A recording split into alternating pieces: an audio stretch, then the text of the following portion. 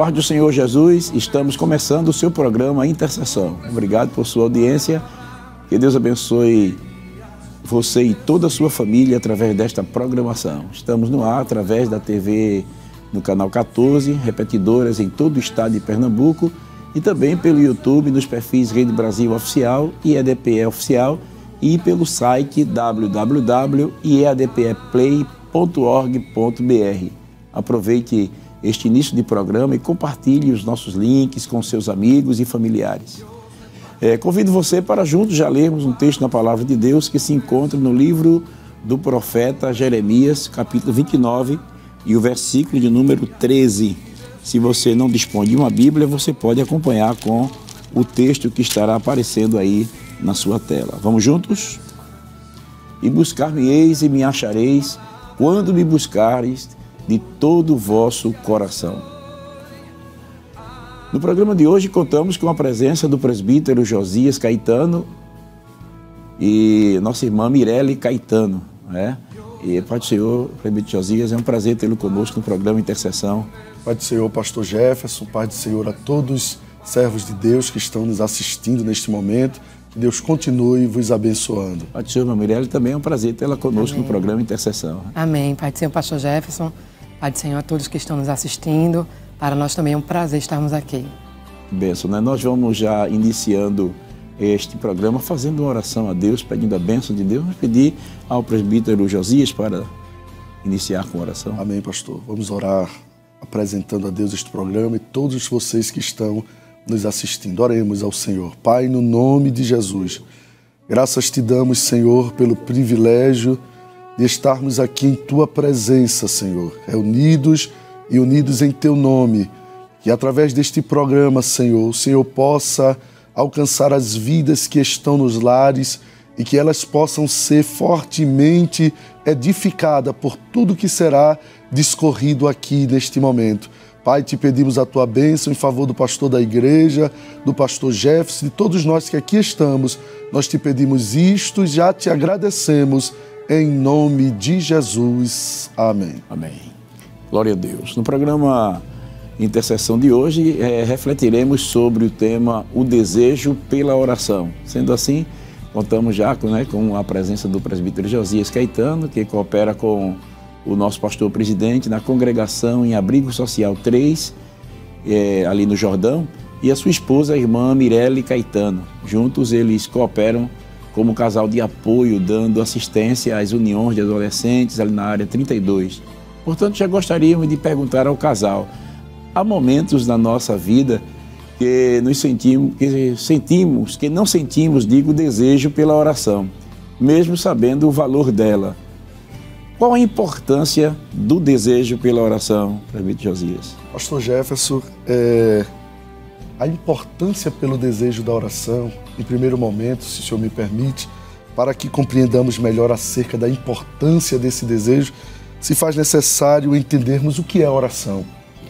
Orar, uma das definições mais pertinentes, é comunicar desejo, é emitir uma, exprimir um sentimento direcionando a Deus, quer seja ele de alegria ou de tristeza. Nós vemos isto à luz das Escrituras no primeiro livro de Samuel, no capítulo 1, versículo 10 e 11. Ana ora a Deus em um momento de tristeza e de frustração. A Bíblia diz: Ela, pois, com amargura de alma, orou ao Senhor e chorou abundantemente. Observe que o texto diz: Ela orou ao Senhor e chorou abundantemente. O choro é, retrata o sentimento que ela estava sentindo naquele momento, que era um sentimento de tristeza.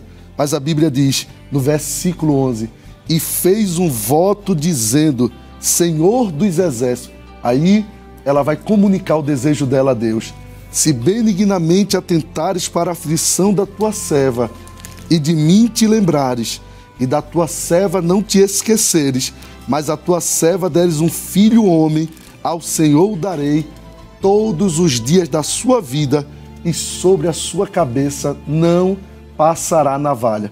No primeiro momento, Ana emite uma oração a Deus com um coração triste, angustiado por uma frustração que ela tinha de não ter um filho. Mas o que eu acho interessante é que no capítulo 2, o verso 1 e 2, o texto diz que Ana já emite outra oração a Deus. E agora já não é uma oração de tristeza e de frustração, agora é uma oração de alegria e de realização.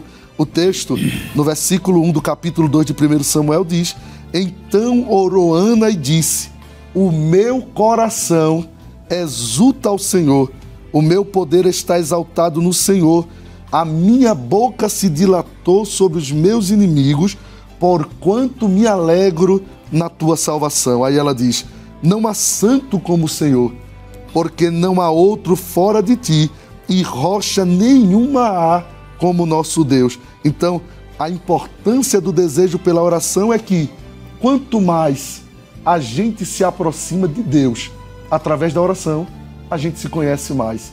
E é por isso que John Wesley disse que a oração é o oxigênio da alma. Thomas Cranmer, um dos líderes da reforma inglesa, ele disse: ore, persevere na oração como se a sua vida dependesse disto, porque ela depende. Billy Graham, corroborando com este pensamento, também disse que não seja a dor que me leve a orar, mas sim a saudade da tua presença. A saudade, o desejo da tua presença. É. Então a importância do desejo pela oração é sentir desejo de estar perto de Deus. É desejo. O salmista teve esse desejo, né? Ele disse: A minha alma tem sede de ti, ó Deus, né? E isso me fez lembrar uma expressão de A.W. Tozer. Ele disse: Dá-me sede de ter sede por ti. Interessante, né, irmã? Isso. É, a necessidade, o desejo, o desejo pela oração é importante porque o desejo pela oração é o desejo de estar na presença de Deus, né? Isso. Eu quero responder essa pergunta, pastor, com a segunda e a quarta estrofe do hino 296 da harpa cristã, que diz assim: Qual orvalho que dá vida às flores, assim é para o crente a oração. Meus cuidados, tristezas e dores, Cristo as sabe por minha oração. É a quarta diz: Renovados em força seremos, nós teremos uma nova unção, e com Deus no jardim falaremos, se vivermos sempre em oração. Então vejamos que o escritor sacro, o escritor do hino sacro, ele estava querendo dizer que a oração é que dá vida ao crente, é. né? De forma que através dela o crente é renovado, mantendo sempre a intimidade com Deus. Então a oração faz toda a diferença na vida do crente. É necessário termos o desejo de orar para estarmos sempre junto de Deus. A senhora me fez lembrar assim um desejo que está no meu coração e é de falar sobre aprendendo a orar com a harpa cristã. E eu creio que daqui uns dias a gente vai estar falando sobre esse assunto aqui no programa Intercessão, né? Porque se a gente for prestar, prestar atenção, a gente vê que a Paquistão ela, ela nos ensina a orar, né? É, é, tremendo, né? A gente pode ter muitos recursos ali. E realmente a gente percebe que ah, o desejo pela oração é muito importante porque é, através da oração nós somos renovados, né?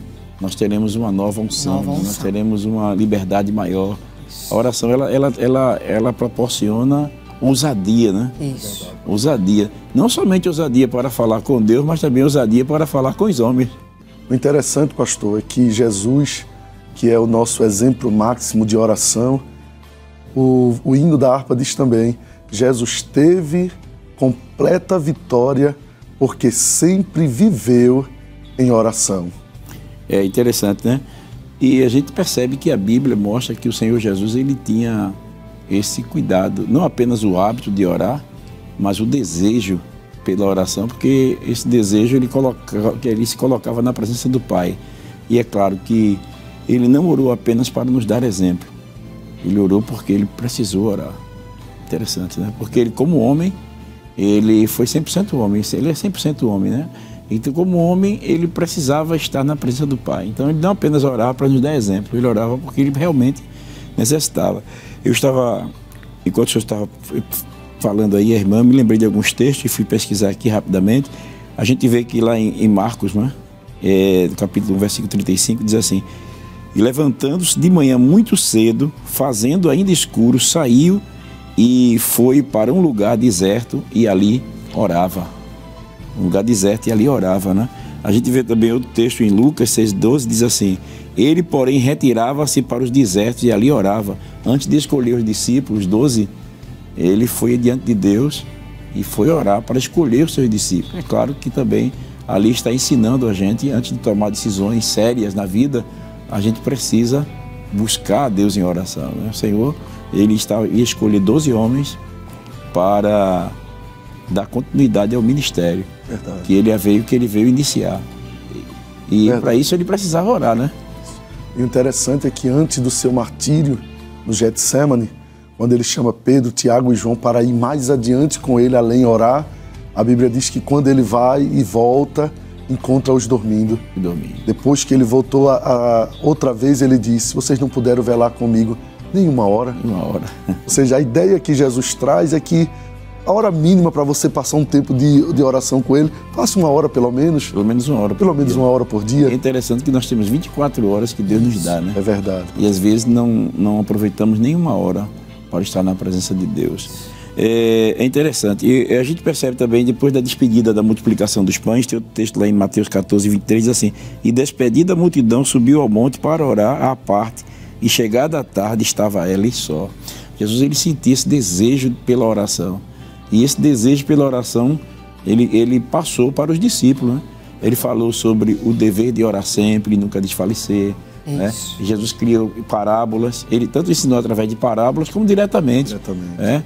É, os discípulos perceberam tanto a, a, vida de oração, o desejo que Jesus tinha pela oração era tão grande que a gente percebe os discípulos chegando a Jesus e dizendo assim: Senhor, ensina-nos a orar. É verdade. É ensina-nos a orar, né? É verdade. É, que maravilha, né? E o Senhor falou uma palavra muito importante eu quero aproveitar e lembrar você que está em casa, você que está no hospital, você onde quer que você esteja escutando ou participando conosco deste programa, que o Senhor ele exigiu o mínimo de oração foi uma hora por dia.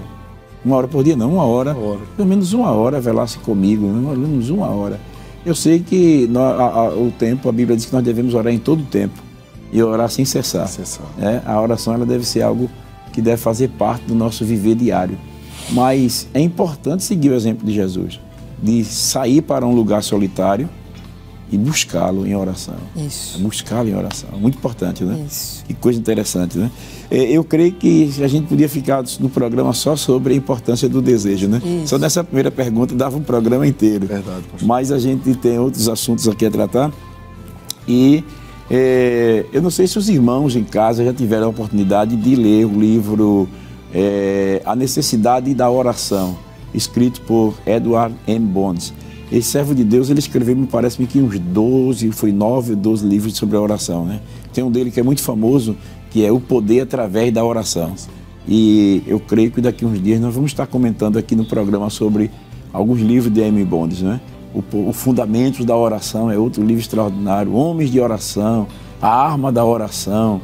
É, é, é, é realmente são um livrinho pequenininho, mas muito sério, muito, de muito peso, de muito conteúdo. Né? E nesse livro, assim, a, a, a, necessidade da oração, a gente percebe que o autor, é, é Eduardo M. Bondes, ele diz o seguinte: o desejo precede a oração, acompanha e é seguido por ela. O desejo vai adiante da oração e por ela é criado e intensificado. A oração é a expressão oral do desejo. É, que coisa tremenda, né? É, será que nas Escrituras existem exemplos de homens que amavam a prática da oração? Quais são esses exemplos? Pastor, um dos exemplos que eu acho bastante pertinente falar é Daniel. A Bíblia diz que Daniel, que não obstante ser um homem de muitas ocupações, ainda achava tempo para orar três vezes ao dia. A Bíblia diz isso em Daniel capítulo 6, versículo 10, a parte B. E três vezes no dia se punha de joelhos e orava, e dava graças diante do seu Deus, como também antes costumava fazer. Já estamos, Daniel, já com a idade mais avançada. Tinha quase, segundo estudiosos, quase 80 anos. Quase 80 anos. Mas o texto é tão salutar refletindo o que ele estava para dizer, que diz que ele era o mesmo Daniel que costumava orar como antes. A gente vê no capítulo 2 do livro de Daniel, quando Nabucodonosor tem um sonho e o sonho passa e ele não se lembra do sonho e emite um edito para tentar e iria matar praticamente todos os sábios do seu reino, mas a Bíblia diz no capítulo 2 do livro de Daniel, versículo 12 em diante, que Daniel encontra-se no meio do caminho com o capitão da guarda de Nabucodonosor, que era Arioque. Daniel diz: Por que te apressa-te? Ele disse: Não sabes do decreto? E a Bíblia diz que Daniel entra à presença do rei, pede tempo ao rei, passa e convida Ananias, Misael e Azaret e Vamos orar. E no versículo 19 do capítulo 2 o texto diz: E o segredo foi revelado a Daniel de noite. O segredo estava ali porque ele tinha um costume de oração. O segredo foi revelado porque ele vivia, ele sabia os canais, os canais que podia levar para obter uma resposta de Deus de algo que somente Deus poderia revelar para ele, porque era um sonho que nem o rei Nabucodonosor se lembrava mais do que havia sonhado. Então Daniel é um grande exemplo e é por isso que o texto diz que ele costumava a orar como antes. Desde a tenra idade, ou jovem, até a idade varonil, Daniel vivia uma vida de oração. E é interessante, né, que essa, essa, ele, esse costume de oração era tão terrível que levou ele a, a, a crer no poder da oração e crer que Deus ele leva a sério a oração. Porque ele foi ameaçado, né, irmão? Isso. Ele recebeu uma ameaça, porque no espaço de 30 dias não podia fazer petição a nenhum outro Deus. E isso foi uma inveja que nasceu no coração daqueles homens, porque o rei pensava em constituí-lo como um dos presidentes né, na, no império. E, e como Daniel se destaca né, dentre aqueles homens, então a gente percebe que eles queriam uma acusação em Daniel e não achou. Não tinha como acusá-lo, que ele era fiel em tudo, ele era muito prudente. E o que a gente percebe é o seguinte, que eles então induziram o rei, é, claro, massagearam o ego do coração do rei, né? Porque o rei queria, todo rei queria ser tratado como um deus. Isso. Então, a, no espaço de 30 dias, nenhuma petição a nenhum outro. Então o rei gostou, né? Da, da, só que era uma, uma armadilha. E Daniel, quando soube que o edito estava assinado, ele não teve medo ele continuou é, manifestando o seu desejo pela oração, é, não somente um, um dever, não somente um compromisso, mas o desejo, porque o desejo era muito forte, é, é muito forte. A gente percebe, eu gostaria que, se possível, aí a, a produção colocasse na tela essa frase aqui, de novo, essa frase que acabamos de ler, de Amy Bondes, para a gente comentar. Eu vou pedir para eles colocarem na tela e vamos ler, né? Essa frase. Foi muito importante. Diz assim: ele diz o seguinte: o desejo precede a oração, acompanha e é seguido por ela. O desejo vai adiante da oração e por ela é criado e intensificado. A oração é a expressão oral do desejo. Que coisa tremenda, não é? Então a gente vê como é importante é, o desejo porque esse desejo ele, ele não somente ele precede a oração, mas também ele é mantido por ela. A ponto de você não se intimidar, não se intimidar com as ameaças. Com as ameaças. Daniel não se intimidou. E tanto é fato que quando eles chegaram, pegaram ele orando. As janelas voltadas para Jerusalém, mas Daniel estava lá orando. O desejo inoculado que existia em Daniel era de conversar com Deus. É. E é interessante, né, irmão? Porque esse desejo de Daniel era um desejo pela, pela palavra de Deus, porque Deus havia dito, né?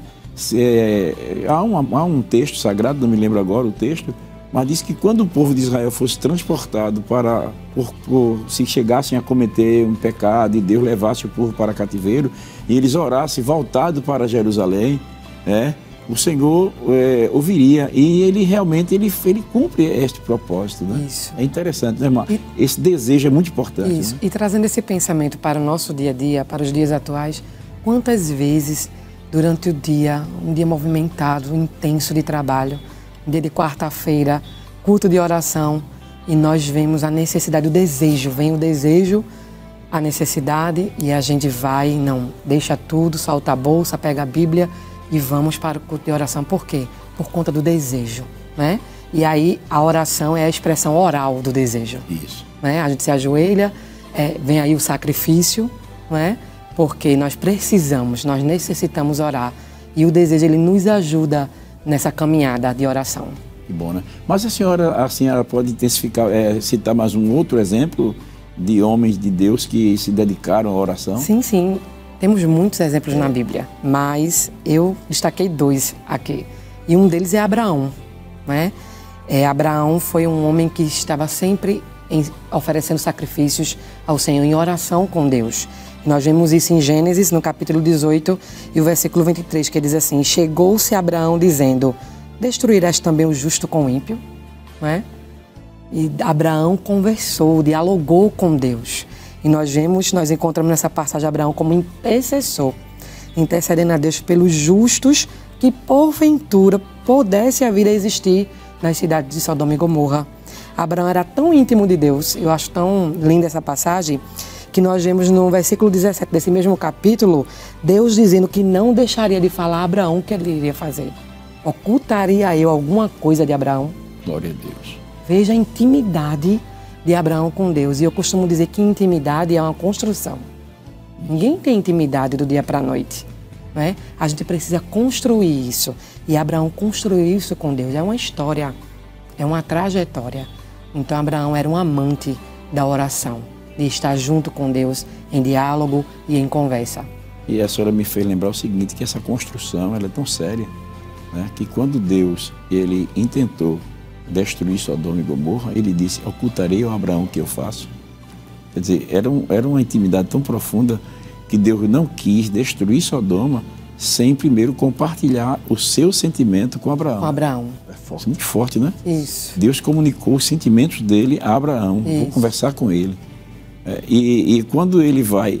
Eu, eu, eu, eu sei que Deus é tremendo, né? Porque é, a gente sabe que tanto a aprovação quanto às vezes um comunicado desse como, como Deus, ele é importante porque Deus ele quis, eu penso que Deus através deste sentimento, Deus quis comunicar para nós o que estava no coração de Abraão. Deus quis revelar o quanto aquele homem ele, ele tinha intimidade com Deus. É, Deus quis revelar o quanto ele se importava com Deus e quanto ele se importava com as pessoas. E isso e, e, eu creio que Deus ele, ele tomou essa iniciativa para revelar o que estava no interior daquele homem de Deus. Porque quando Deus chega para Abraão e diz assim, é, ocultarei o Abraão que eu faço, e chega a conversar com Abraão, expõe, a gente percebe ali, não sei se os irmãos que estão me ouvindo em casa, é, talvez corroborem com esse meu pensamento, mas eu, eu, eu penso que Deus não chegou lá para Abraão e disse assim, vou destruir Sodoma, não aguento mais, eu vou lá eu vou lá e, e vou ver como é que está a situação e eu vou acabar. Eu acho que não foi. Eu acho que porque a Bíblia diz que Deus não tem prazer na morte do ímpio. Isso. Eu creio que Deus falou com um tom de voz, um certo pesar no coração. Verdade, pastor. Porque lá em Gênesis, quando Deus destruiu o mundo com água, a Bíblia diz que pesou-lhe no seu coração. E ele disse: Não tornarei mais a destruir o mundo com água. Pesou-lhe no seu coração. Então, quando Deus foi falar com Abraão, acho que ele foi falar com peso no coração um pesar. E eu creio que Abraão ele discerniu, ele percebeu a entonação da voz de Deus, que ele tinha um certo tom de tristeza. tristeza. Olha, irmãos, eu não estou criando nenhuma. É, colocando palavra mais além da Bíblia, só estou externando um pensamento meu, tá certo? Eu estou externando um pensamento meu. E porque o texto não fala muita coisa, mas a gente pode perceber, porque é como que Deus estivesse dizendo a Abraão assim: Abraão, eu vou lá visitar Sodoma. E tu faz crer que não tem jeito não. Eu vou destruir. Aí Abraão disse assim, Senhor, destruirás o justo. O justo com o ímpio, não fará justiça de toda a terra. E eu acho lindo esse diálogo. Eu estava meditando e eu disse, meu Deus, como a gente precisa estar sempre orando para a gente ter esse contato com Deus, porque Ele quer isso conosco, né?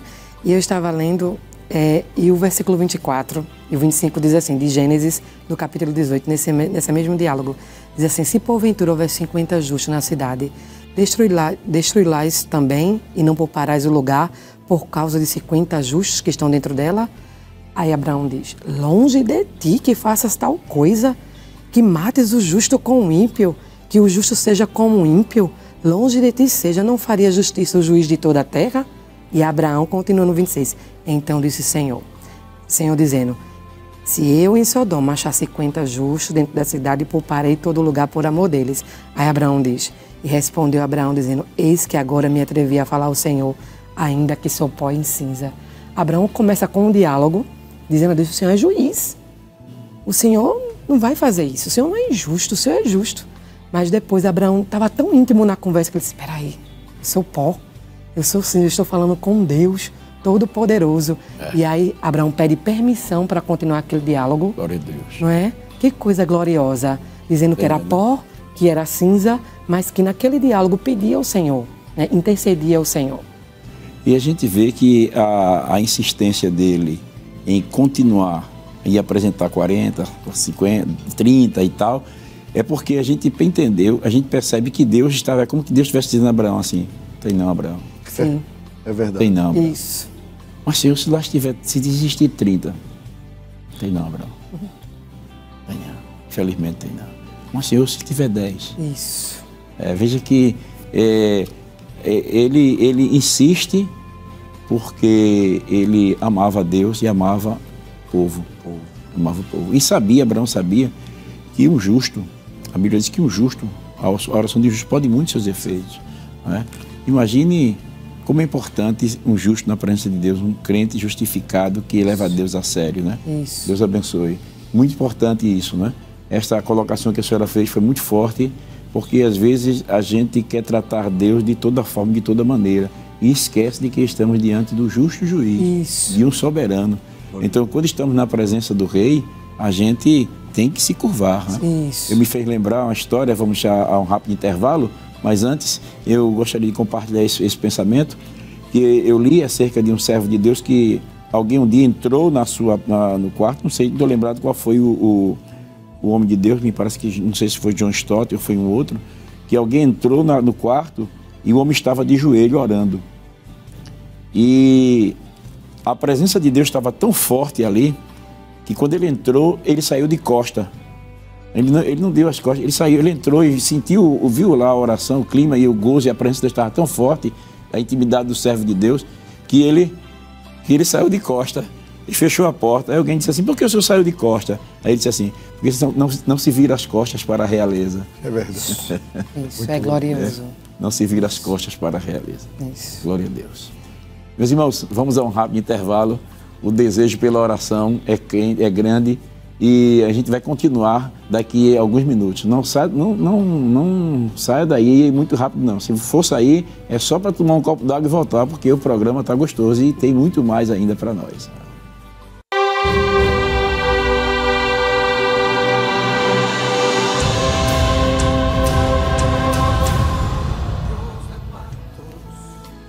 Estamos de volta com o seu programa Intercessão. Estamos hoje falando sobre é, o desejo pela oração, o desejo pela oração. E acho que no bloco anterior nós falamos sobre a importância da oração, né? E vimos também alguns exemplos de homens que desejaram estar na presença de Deus. Desde é, vimos sobre o Senhor Jesus, vimos sobre Daniel, vimos também sobre Abraão. É, estamos falando assim, você que está entrando agora no ar, está entrando em contato conosco, nós estamos aí. E se você chegou agora, eu lhe aconselho depois você recomeçar novamente o programa, né? porque você tem a oportunidade aí pelo, pela rede social. O YouTube ele proporciona essa, essa benção, né? É, irmão, estamos falando aqui com o presbítero Josias Caetano e sua esposa, a irmã Mirelle Caetano, né? É, eu gostaria de fazer mais uma, mais uma pergunta ao, ao nobre casal. Há orações que são feitas como resultado do desejo de falar com Deus. Há outras, no entanto, que resultam da necessidade e até mesmo do dever de orar. Como podemos conciliar o desejo, a necessidade e o dever, irmã? Conforme que já falamos aqui, pastor, sobre a oração, vimos que a necessidade de orar gera em nós o desejo de exprimir a mensagem a Deus. E agora vem a terceira palavra que é o dever. E aí, então, para que possamos entender melhor, traga a definição de dever segundo o dicionário, que quer dizer a obrigação de fazer alguma coisa imposta por lei, pela moral, pelos usos e costumes ou pela própria consciência. Então, dessa forma, como crentes salvos na pessoa de Jesus, precisamos ter a consciência do dever da oração. Por isso, o apóstolo Paulo, escrevendo aos Efésios, no capítulo 6, verso 18, ele diz: Orando em todo tempo, com toda a oração e súplica no Espírito, e vigiando nisso, com toda a perseverança e súplica por todos os santos. Muitas vezes, a nossa necessidade, o nosso desejo, a gente coloca um pouquinho de lado e aí vem o dever. O que é esse dever? Muitas vezes precisamos interceder por alguém, precisamos estar orando por alguém. Então, a necessidade, o dever e o desejo estão juntos para que o propósito da oração aconteça. E aí possamos conciliar todos esses três num só motivo e o nome do Senhor é glorificado através disso. E é o que falamos no início, na definição de oração, uma das definições do que é oração. Orar é comunicar desejo. E quem comunica desejo precisa ter desejo de comunicar. E quando você tem o desejo de comunicar, você sente a necessidade, porque a necessidade é que começa a exaurir o desejo de você orar. Quando você está necessitado, você ora. Agora, o dever é você ter em mente que você precisa diuturnamente falar com Deus, se comunicar com Deus, se relacionar com Deus, a fim de que estes três, estes três prismas estejam ligados: necessidade, o desejo e o dever. Interessante, a senhora falou sobre a consciência. Isso, a consciência de que precisamos orar. A consciência de que precisamos orar, isso é muito importante, né? essa consciência de que precisamos orar, até porque a nossa oração ela é resultado também do conhecimento que temos de Deus através da palavra de Deus. Sim, sim. Né?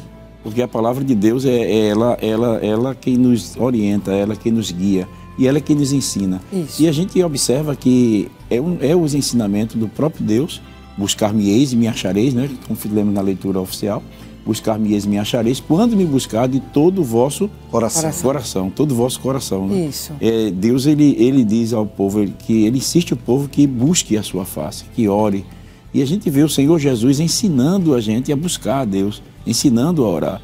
Os próprios discípulos pediram a ele, ensina-nos a orar. Isso. E o Senhor ensinou, quando você for orar, entre o seu quarto, feche a sua porta e diga, Pai nosso que estás nos céus e tal e tal. E a gente vê também o Senhor Jesus falando, até, como comentamos no bloco anterior, ensinando por parábola, por exemplo, a parábola da viúva importuna, ela mostra assim sobre o dever de orar sempre e não desfalecer. E nunca desfalecer. Né? Interessante, né? Então, a, o dever da oração é resultado da nossa consciência. Isso. Nós estamos tendo a consciência de que temos que orar em obediência ao que Deus ensinou, sim, né? Sim, sim. Ah, como a senhora citou, orando em todo o tempo, orar sem cessar. Isso. Então é um dever do cristão, ah, é, tem que ter essa consciência. E também o senhor falou uma coisa interessante, a necessidade, né? Porque o Senhor Jesus disse assim, sem mim, nada podereis fazer. Então, como é que você vai fazer? Como é que você vai fazer algo sem Jesus? Isso. Esse algo, esse, esse sem mim nada podereis fazer, esse nada envolve tudo. Isso. Tudo está relacionado. É desse, colaborando com esse pensamento, Pastor Jefferson, tem coisas na nossa vida que nós só conseguimos vencer através da oração. Não adianta ter outro mecanismo, tomar outro caminho, porque só através da oração é que Deus nos dá as armas e as possibilidades para vencer determinadas situações. Isso é verdade. Ô, oh, meus irmãos, esse assunto é tão bom. Esse assunto aqui que a senhora, que a senhora agora abriu essa porta aí, dava para a gente ficar fazer o programa só nessa, nessa, nessa palavrinha que a senhora falou aí, que é muito importante, né? Através da oração, Deus nos dá as estratégias, Deus, Deus nos orienta como fazer. Isso. A gente se lembra de Neemias, por exemplo, que Neemias, quando ele recebeu a notícia que as muralhas estavam derrubadas, queimado a fogo os portões, o povo vivendo na miséria, ele caiu num período de oração e jejum, numa campanha de oração e jejum, e quando ele chega na presença do rei, que o rei olha para ele com semblante triste, assim, o que é que tu tem? Isso. E o teu semblante está triste. Disse, como é que eu podia estar alegre? Se a situação do meu povo, aí relata tudinho. Ao rei disse, o que é que você quer? Ele já estava todo pronto. Ele pediu, ele já mostrou todo o projeto ao rei. Isso a gente sabe que ele adquiriu na oração. Isso. Olha, irmãos, como é importante. Não? Mas a gente tem muita coisa ainda pela frente. E tem mais uma pergunta aqui que a gente gostaria, é, cremos que também ela é muito importante, dentre as outras. É, os irmãos certamente estão rodeados de exemplos na família, na igreja, no dia a dia, de testemunhos cristãos, de pessoas que é, desejavam ardentemente estar diante do Senhor. em oração. Seria possível compartilhar desses testemunhos conosco, presbítero? Ei, pastor, eu tenho um exemplo na minha família, a minha mãe. Me lembro quando o Senhor tomou meu pai para si, a gente ainda era muito pequeno e todas as madrugadas que a gente se levantava para ir ao banheiro, quando a gente passava, ela estava orando com a face no pó debaixo da mesa. E muitas vezes, quando ela se levantava para trabalhar, porque ela assumiu o papel de pai e de mãe, ela dizia a gente: tenham cuidado, viu? O Senhor falou alguma coisa comigo de madrugada e eu estou muito preocupada. E Deus sempre revelava, dizia as coisas, sempre dizia o que estava para acontecer. Um dia Deus deu um grande livramento a um dos meus irmãos, mas antes de dar o livramento, o Senhor revelou para ela em oração pela madrugada e ela disse: Deus vai dar um livramento a um de vocês hoje.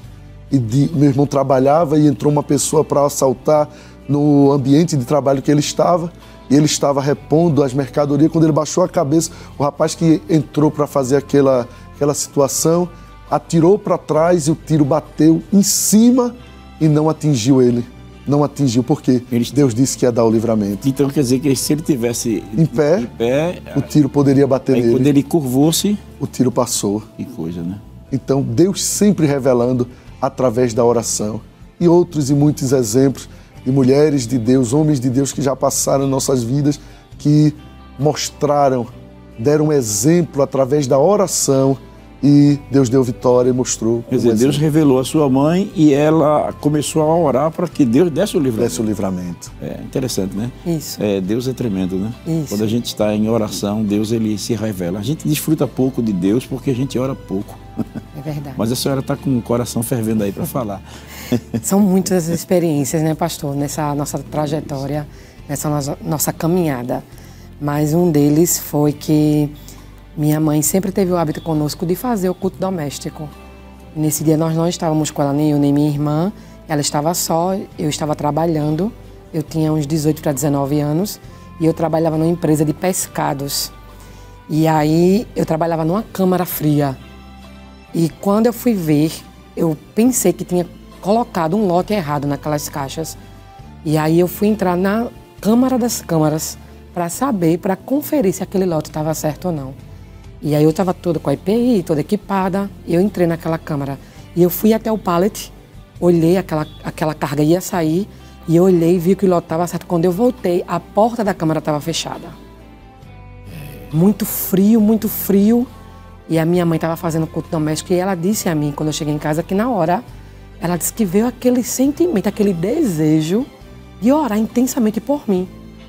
De estar me apresentando intensamente para o Senhor me livrar dos perigos e eu peguei, eu disse, não, eu sabia que tinha outra porta na câmara, eu disse, mas se eu voltar, eu posso me perder e o acidente pode ser pior. Eu vou ficar aqui. Eu agarrei naquele ferro que abria a porta muito larga, que fechava a câmara, e fiquei ali agarrada, de luva, agarrada, segurando e orando, esperando alguém abrir, alguma coisa acontecer, porque estava muito frio. E quando menos espera, o rapaz que entrou abriu aquela porta. E eu estava tão congelada ali dentro que a mão nem saiu do ferro. Eu fiquei, fui arrastada junto com a porta, né? E quando eu saí, me levaram para um outro ambiente, eu estava muito gelada. E quando eu cheguei em casa, que contei a minha mãe, ela fez: Hoje pela manhã o Senhor colocou esse desejo no meu coração de orar por você. Né? Então, através da oração, o Senhor dá o livramento. É. Através da oração, como já falamos aqui, Deus ele nos concede ou nos livra daquilo que a gente nem consegue ver, mas ele nos livra a gente vê né, o desejo, o desejo pela oração e o desejo na oração. Na oração. É. E quando você está orando, Deus ele dá desejo de você interceder por alguém, por algo, né? É interessante. A senhora me fez lembrar, um dia eu estava, eu estava ajudando minha esposa um dia lavando os pratos lá depois do almoço, e daí estou ali cantando, e de repente eu vejo um sentimento de interceder por um obreiro. E o, e, e, e o sentimento foi tão forte que eu parei tudo e fui para o quarto e quando eu orava por ele, mais sentia desejo de orar por ele. Aquele desejo intenso que veio pelo servo de Deus, né? Outra ocasião eu estava num culto e um culto de vigília. De repente senti desejo de orar por um pastor de um outro estado e o sentimento foi tão forte que eu levantei a igreja para orar por ele. E um dia o presbítero é, viu aquele pastor e disse a ele, pastor, é, tal, tal mês, assim, assim, assim. É, o pastor Jefferson, ele sentiu, levantou a igreja para interceder pelo senhor e tal. O senhor estava passando por algum problema? Ele disse, exatamente nesse período eu estava passando por uma grande luta e Deus me deu a vitória. Glória a Deus. Quer dizer, é, é, é importante quando nós sentimos esse desejo, a gente deve orar. Eu, eu já comuniquei, eu acho que eu já falei aqui no programa de intercessão, a senhora falando me fez lembrar que um dia eu estava orando e na oração, é, porque o desejo às vezes surge na oração, né? Você sempre deseja Sim. de orar, você se acorda de madrugada e Deus colocou um desejo no coração de você orar.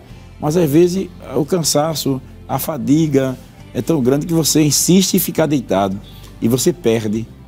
Você perde uma comunicação de Deus, uma experiência nova com Deus. Isso. Eu me acordei com o sentimento de desejo de orar e desci e fui orar. E na oração eu senti desejo de orar por uma irmã. Ela estava gestante.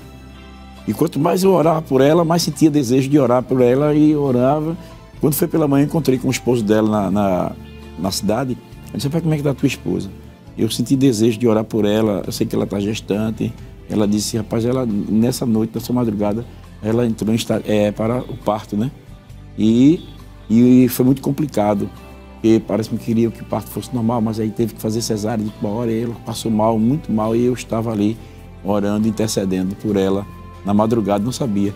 E naquele momento ali, ela estava, ela tinha entrado em um momento de parto e, e quase que ela desfalece porque a situação foi difícil. Tá Anos depois, já agora pouco recentemente, eu a encontrei e ela me apresentou o filho dela já, um rapazão bonito. E disse assim, aí eu disse, por esse menino orava eu.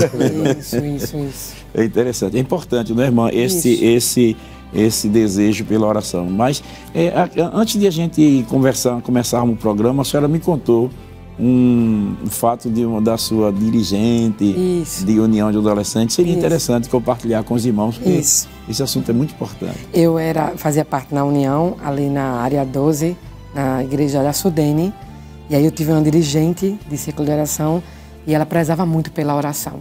Ela nos levava à oração. E aí muitos ensaios ela deixava todos os adolescentes de joelho e ela ficava em pé, caminhando e orando por cada um. E ali a gente ficava conversando, adolescente, a gente ficava conversando, olhando um para o outro. E ela, quando orava, ela dizia assim: Senhor, coloca o desejo de orar no coração desses adolescentes. Coloca desejo, Senhor, no coração de Mirelle. Mirelle vai ser esposa de obreiro, precisa desejar orar. Tenha de misericórdia. E ali o Senhor foi trabalhando, né, foi nos ajudando e o nome dele tem sido glorificado através da nossa vida. Então vale a pena orar e vale a pena também interceder, não é? Você em casa que tem seu filho, você que é dirigente de união, você que está na peleja, na oração por alguém, continue orando, continue intercedendo, porque Deus, Ele é aquele que ouve e faz aquilo que a gente não espera. Continue orando. Glória a Deus, né? É, que maravilha, né? É, estamos falando aqui na perspectiva humana do desejo pela oração.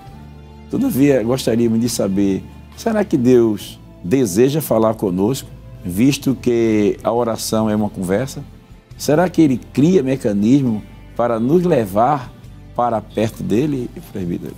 Cria, pastor. E um dos mecanismos que Deus cria é a provação. Deus leva o crente para um caminho de provação para que ele aprenda a depender de Deus e busque a Deus em oração. A gente vê no livro de Isaías, capítulo 38, e o versículo 2 e 3, que Deus permitiu que uma enfermidade mortal acometesse o corpo de Ezequias, e o texto diz: Então virou Ezequiel seu rosto para a parede e orou ao Senhor e disse: Ah, Senhor, peço-te, lembra-te agora de que andei diante de ti em verdade e com coração perfeito, e fiz o que era reto aos teus olhos e chorou Ezequias muitíssimo.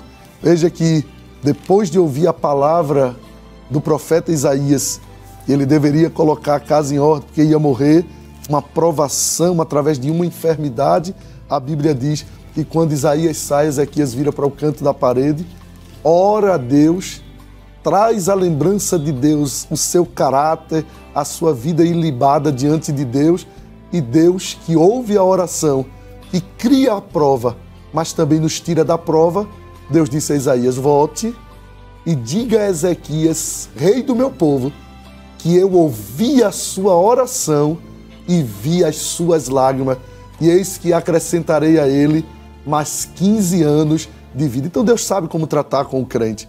Deus sabe como criar mecanismos, caminhos para nos levar ao altar da oração.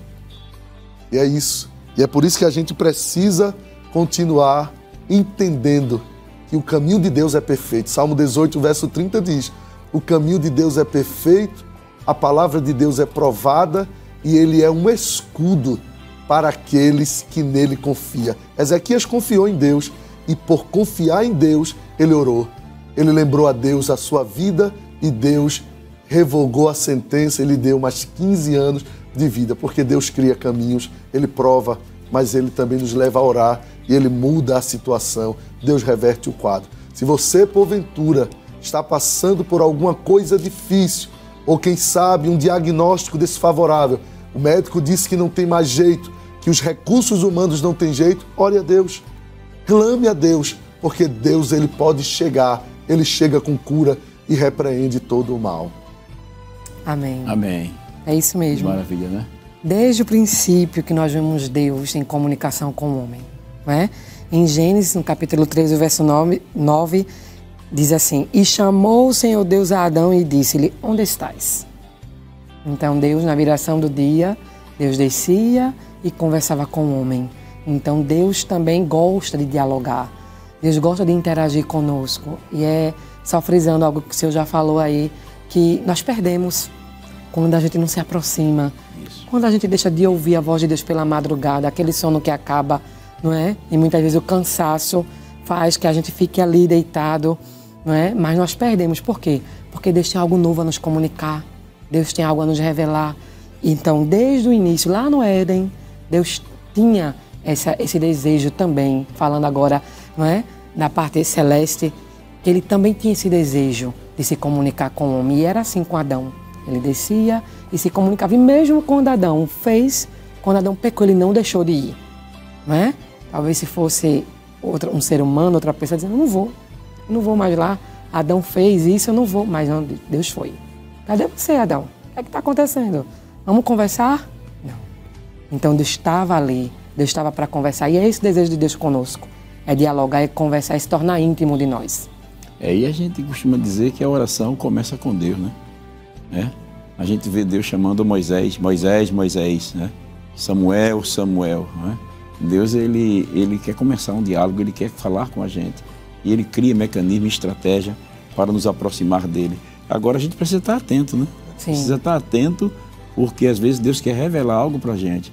E se a gente não. Veja que Samuel ficou preocupado. Ele entendeu, disse: olha, da próxima vez você se fala, Senhor, porque o teu servo ouve. Glória a Deus. Glória a Deus. Né? Quem sabe você está negligenciando o convite de Deus. Deus fala de muitas formas e de muitas maneiras. Às vezes Deus fala através de um sonho, de um sentimento. Ora, Deus colocou um sentimento no teu coração para orar, ora, Deus te acordou na madrugada, perdesse o sono, vai ficar embolando para lá e para cá na cama para cuidar. Levanta, rapaz, vai buscar, dobra o teu joelho, te prostra diante de Deus. Talvez Deus quer te revelar algo, Deus quer te revelar algo, alguma coisa sobre o teu futuro. Deus quer te responder uma oração que você já vem pedindo, uma petição há muito tempo que você vem pedindo a Ele. E é importante que é, possamos atentar para os anseios do coração de Deus. Né? Os anseios do coração de Deus é se comunicar com a gente, como a nossa irmã acabou Isso. de falar. Estamos chegando ao final do programa, tão gostoso e tanto assunto, né? Isso. E, mas quais, quais os conselhos vocês dariam àqueles que ainda não sentem o desejo pela oração? Comece a orar. Gaste tempo. Se você não tem um costume de orar uma, duas, três horas, comece orando 15 minutos. Comece orando 20 minutos. Cada dia aumente alguns minutinhos, mas o desejo de orar deve aflorar dentro do coração de cada um de nós, principalmente nós que estamos vivenciando os últimos momentos da igreja na terra. É agora que devemos orar mais para que Deus nos livre, nos proteja. E o conselho que eu dou é justamente isso. Gaste tempo na oração. Comece a orar. Um dia o Senhor me, me se encontrou comigo em um dos corredores lá perto da Beré e o Senhor disse: Josias, estás orando? E eu disse: Tô não, pastor. Porque quanto mais a gente pensa que está orando, é que a gente precisa orar mais. E é isso. Ore, busque a face do Senhor. A gente vai ser achado de Deus, Deus vai nos encontrar se a gente viver uma vida de oração. Já foi falado aqui que a oração é o oxigênio da alma. Então, como foi falado pelo presbítero, gaste tempo na oração. Se não tem o hábito de orar uma hora, duas horas, mas vá com 15 minutos, 20 minutos. E aí peça a Deus o desejo de desejar orar.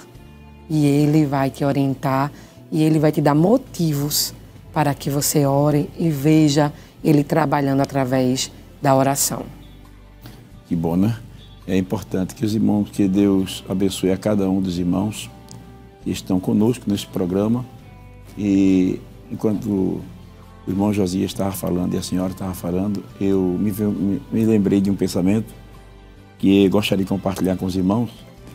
E a gente só tem a noção de distância quando a gente procura chegar perto. Você só tem noção de distância do quanto você está distante quando você começa a se aproximar. Ou seja, um exemplo. Você faz uma viagem daqui para Petrolina. Se você nunca foi a Petrolina, você vai, vai achar cansativo. E se for de carro, se for de ônibus, parece que não, não chega mais nunca. Né? Se você for de carro, você vai ver o quanto é, é distante. Você vai dar quase 10 horas de, e você vai dar uma parada aqui para fazer um lanche e tal. Aí você vai, imagine, 10 horas de viagem, você vai sentindo um cansaço. Aí você vai vendo o quanto você está distante para chegar à Petrolina. Né? Então você só tem noção de distância quando você procura chegar perto. Quando você começa, é uma, uma palavra que o Prebit Josias falou que é muito importante. Você começa a orar 15 minutos, 20 minutos, e você vai vendo o quanto você está distante. Quando você chega, procura chegar perto de Deus, por quê? Por que distante? Porque você vai vai faltar palavras. Você precisa criar o vocábulo da oração. A oração ela tem uma linguagem, ela tem uma entonação, ela tem um é algo que vai acontecendo de forma espontânea, né? Então, à medida que você vai se tornando íntimo com Deus, que foi uma palavra que a irmã falou, que é uma construção, a intimidade sim, sim. é uma construção, porque quando você é, fala com alguém que você não conhece, é, a conversa fica partida. Não sei se você já teve a experiência é de, de conversar com alguém, por exemplo, no ônibus, uma viagem. Assim, uma vez eu, eu às vezes viajo, imagina, você fazer uma viagem daqui para Petrolina, ao lado de alguém, e não conversar com, com uma pessoa. Aí uma vez eu tentei conversar com alguém, eu disse, rapaz, que paisagem bonita, né? O camarada é.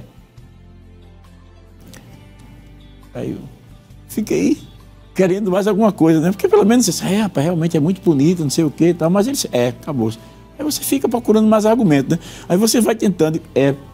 E, mas se você está ao lado de um amigo, a, história é outra. Isso. O assunto vai puxando o outro. O assunto vai puxando o outro, um assunto vai puxando o outro, e você vai se tornando. Quando, quando você tem uma, uma intimidade, então a, a, conversa vai ficando. Vai ficando recíproca, não só você fala. Simples, né, pastor? No caminho de Emaús. No caminho de Emaús. A conversa era triste. Quando, quando Jesus chegou, o caminho chegou, o caminho se tornou mais curto. Se tornou tão rápido. Verdade. Não é que, tão rápido que, que eles chegaram a dizer assim, quando Jesus fez que ia adiante, ele disse assim, fica, fica conosco, conosco, já é tarde. Por quê? Ele queria continuar conversando. Glória a Deus. Ele queria mais. É verdade. Né? Que Deus abençoe.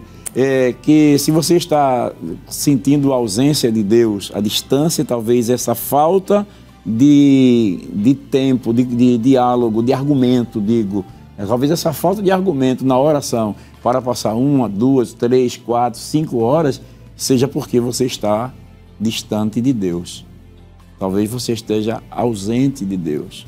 Porque na proporção em que você fica com Deus, a conversa vai se tornando mais e mais. Veja que o texto sagrado diz que Moisés falava com Deus como qualquer um fala com seu amigo. E olhe que ele passou 40 dias e 40 noites no templo, no monte. Depois desceu e subiu de novo para passar mais 40. Então, e a gente vê que o livro de Levítico, se você prestar atenção no livro de Levítico, ali é uma oração. Todo o livro de Levítico é uma oração. Só que é uma oração não, não de Moisés falando com Deus. A maior parte é Deus falando com Moisés. Porque cada capítulo diz assim: E falou o Senhor a Moisés, dizendo. E falou o Senhor Deus a Moisés dizendo. E falou o Senhor Deus a Moisés dizendo. Né? Que Deus abençoe. Que Deus nos ajude e possamos orar, pedir mesmo faça, interceda pelos seus filhos como a dirigente da União Isso. intercedeu pela nossa irmã Mirelle. Senhor, dá desejo da irmã Mirelle, Mirelle orar, né? Isso. De orar, ela vai ser uma esposa de obreiro. Isso. Devemos orar, Senhor, dá desejo aos meus, aos meus filhos, conversa com meus filhos, fala. Eu tenho orado, Senhor, fala com meus filhos, te revela a eles, né? Porque quanto mais de Deus você tiver, mais você vai querer. E eu, e disse alguém algo interessante. O que conta não é o quanto nós temos de Deus, mas o quanto Deus tem de nós. Isso. O quanto Deus tem de você. Que Deus abençoe, que Deus nos ajude. E fica aí a pergunta no ar para a gente refletir nesta tarde. Prefeito Josias, foi um prazer tê-lo conosco no programa Intercessão. Passou tão rápido, né? Queremos agradecer a sua presença, a presença da sua esposa. Amém. Fique à vontade para as considerações finais. Amém, pastor. Eu quero agradecer ao nosso pastor presidente, ao Senhor pelo honroso convite também. Quero também, se o Senhor me permite, mandar uma saudação para minha mãe, a irmã Leu, meus irmãos, a todos os irmãos da área 1232, o evangelista José Marcos, sua esposa irmã Elisângela, e em especial aos queridos irmãos da congregação do Abrigo Social 3. Que Deus continue abençoando a todos. Também mandar uma saudação para minha sogra. Deus abençoe a todos em nome de Jesus. Amém, pastor. Para mim foi um prazer Quero agradecer ao nosso pastor presidente, ao Senhor, pelo convite.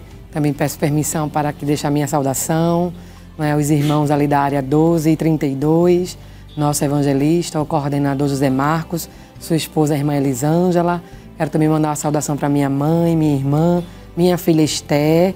Eu quero agradecer a, todas, a toda a família, não é? E também mandar uma saudação especial aos irmãos de Abrigo Social 3. Deus abençoe cada um dos irmãos.